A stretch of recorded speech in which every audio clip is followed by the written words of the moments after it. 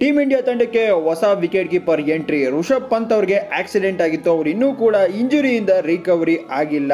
ಅದಕ್ಕಿಂತ ಮುಂಚೆ Srikar Bharat, K L Rahul ಎಲ್ಲರೂ ಕೂಡ ಆಡಿದ್ರು, ಆದರೆ ಕಳಪೆ ಪರ್ಫಾರ್ಮೆನ್ಸ್ನ ಕೊಟ್ಟಿದ್ರು.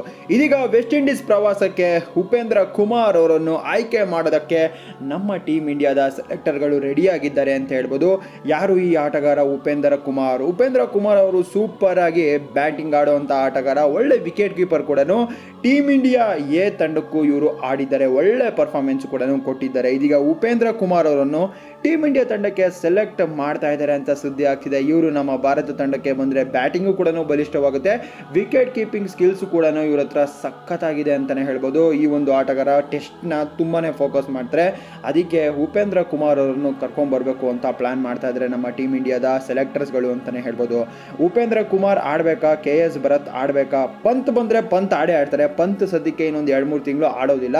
ಅವರ ಜಾಗಕ್ಕೆ ಉಪೇಂದ್ರ ಕುಮಾರ್ ಅವರನ್ನು ಆಡಿಸ್ಬೇಕು ಅಂತ ಪ್ಲಾನ್ ಮಾಡ್ತಾ ಇದ್ದಾರೆ. ಖಡಕ್ ಆಟಗಾರ ಅಂತ ಹೇಳ್ಬೋದು. ಹೊಸ ಕೀಪರ್ ಭಾರತ ತಂಡಕ್ಕೆ ಎಂಟ್ರಿ ವೆಸ್ಟ್ ಇಂಡೀಸ್ ವಿರುದ್ಧ ಟೆಸ್ಟ್ ಪಂದ್ಯವನ್ನು ಆಡ್ತಾರೆ ಗುರು.